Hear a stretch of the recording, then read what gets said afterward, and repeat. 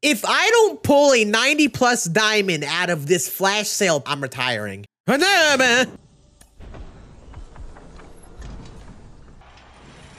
All right, that is my sign to not open another pack. Aha, you thought, game.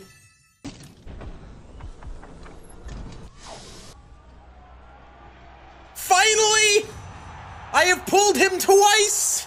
Ballin' out of control. It is a one in three chance at a diamond. And then we'll do the headliner choice pack. Oh, they actually gave me the headliner out of this one. Dub. Bang! Double diamond pack round two. Give me some sauce, man, please.